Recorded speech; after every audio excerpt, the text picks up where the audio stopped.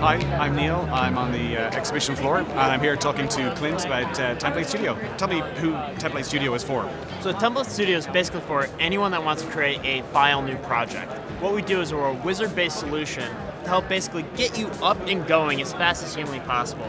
We handle all the boilerplate code, so you don't have to. We support five separate frameworks, uh, about uh, 10 different pages, and about 15 different features that you can add in as many as you want uh, you click generate, and then you're left with a uh, to-do list of things you need to do. So we tell you exactly where to get your key, exactly where to put it in code, and a couple little tweaks that you may need to do as a developer to make your application great.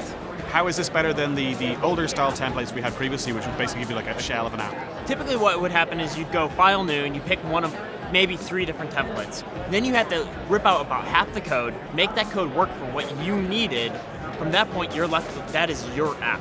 Template Studio, not only can we help get you up and going with the stuff exactly how you want it, with the framework you want, later on, if you use a WTS-based project, you can right-click on your project and add in the new features. So if you forgot a page or you're building out a new, a new section of your application, right-click, add in the feature or add in the page, and you're good to go.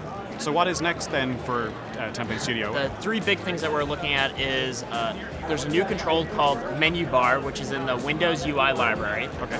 So we're going to implement that. Uh, in addition, we're looking at adding in WPF support oh, and okay. Xamarin support. That's brilliant. Thanks for chatting. Thank you.